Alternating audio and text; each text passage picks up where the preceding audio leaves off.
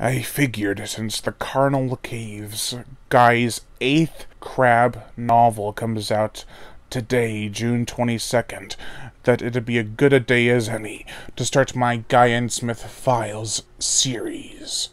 Here we go.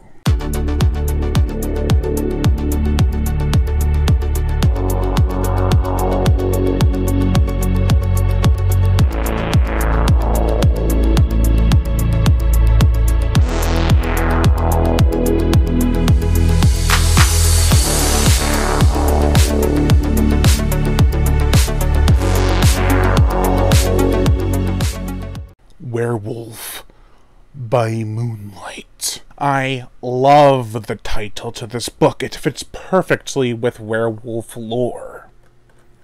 Obviously. This is the 1974 Guy N. Smith novel. This review will contain minor spoilers. This is also the first novel in Guy N. Smith's bibliography. The plot. Philip Owen goes to do something in the barn one night and gets bit by a black dog.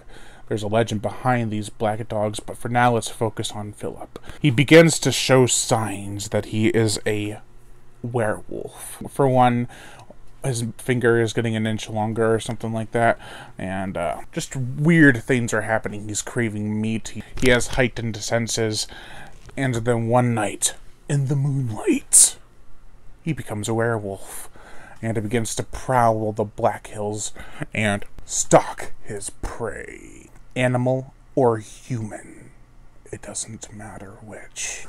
Basic, formulaic, and cliche werewolf story. That's what this is.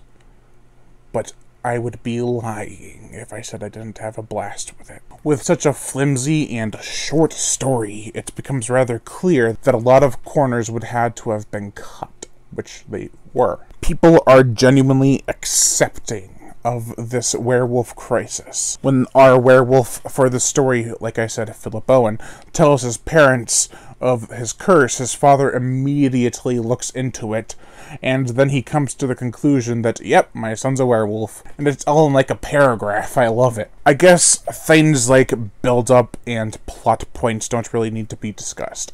It's pulp horror, what do you expect? Basically, if your third finger is an inch longer, or something like that, like, it's hard to remember because there's so little going on in this book, and then you kind of take things for granted. Um, then, if you do have that, then you're a werewolf. There's no other way around it. Like, I just don't naturally have a longer finger. I'm a freaking werewolf. It's funny, but nice to have this added lore the werewolf also can't cross running water. That can open up a whole new can of worms. Like, wasn't there a Dracula movie where he couldn't do that? I don't know. This is a werewolf book. Running water. I don't know if that's actually werewolf lore or not, but if it is, it's kind of stupid. There's something else like I know. I know there's another story or movie where they can't cross running water. Oh well. Also, this novel has a type of twist that is usually poorly done, but this time, it's boiled down to the townsfolk not realizing something so obvious. However, by the time I closed this book, I felt oddly satisfied. It has a poorly executed story, dumb characters that are way too accepting of things, and easygoing, as well as having a weak twist. Yet it's Guy N. Smith's writing style that really sold me on this book. Not to forget that this is Guy's first book. First book! It is patchy but well told. He cemented himself to the foundation of a cozy, environment. Descriptions of the Black Hills, moonlight, and streams are very Celtic. I swear, if they would have added a gypsy to the story, it would have been freaking perfect. The exteriors are vivid, and the interiors are warm, with the roaring fireplace. It does come a bit of a shock when two characters go to see a movie, a werewolf movie nonetheless, in a theater. Up until this point, I felt like this village was cut off from the rest of the world like some tropical island in the middle of nowhere. But then they go to a movie theater and I'm like, oh, I guess they're pretty close to civilization. As for the characters, there's Gordon Hall, Margaret and Vic Gunn, Philip and his parents Blodwin, and Gwyn, or Gwen, I don't know how you say that one, Owen. As well as Sergeant Ford and his men like PC Winter and others. There are other minor characters like Peter Pike, who goes to the movie with this girl, but they are only used to steer the cast of characters in the right direction. There's not much to be said about most of the characters in this book, except that Margaret Gunn is married to Vic, is secretly sleeping with Gordon Hall. And at the end of the book, of course, it's revealed, and it's so dumb, like how they handle the situation. Like I understand, let's put aside our differences to hunt and to kill the werewolf, but after that, I'm gonna kick your ass. No, that that never happened. It's more like an understanding on Gordon's side and just hostility to his wife and an extra precautions for Vic and Margaret.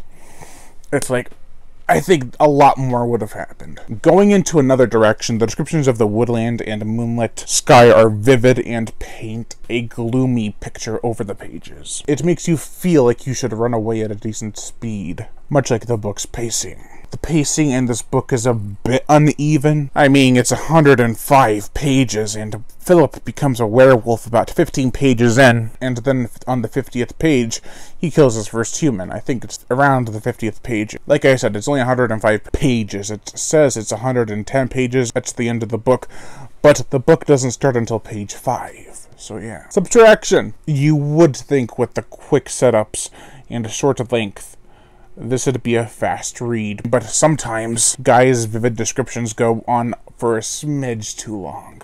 Going back to the characters of Margaret and Gordon, like I said, they're having the affair.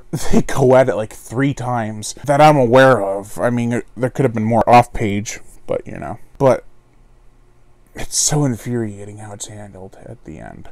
Speaking of three, within the book, there's really only three kills and one isn't even directly caused by the werewolf. So let's get into the next part. The gore! A mangled woman is discovered after a very odd exchange between her and the werewolf. It's not technically rape, it's more. How would I say it? Um, misunderstanding. A man is decapitated via buzzsaw, which was a pretty gruesome scene, and a woman has a heart attack. And that's about it for humans. As for animal killing, several rabbits and deer have their throats ripped out and intestines eaten. It's mutilation at its finest. It's not too gory, but there are some highlights. This book is quite a doozy. While yes, it is well written and has a good kill or two, the story as a whole was a little hard to swallow. It's a short book with some minor piecing issues, but I think if you're either into Guy's work or just enjoy pulp horror, then definitely give this book a look. You might enjoy it. If not, it's because you don't, don't like pulp horror. I guess. Well, overall, I give Werewolf by Moonlight a 2.5 out of 5. Thank you all for watching, and what was the first Guy N. Smith novel you read? Let me know in the comment section below, and as always, Lion Brian Gatto, the horror show host. Make sure to like my Facebook fan page and support me on Patreon. The links are in the description below and to leave comments and subscribe.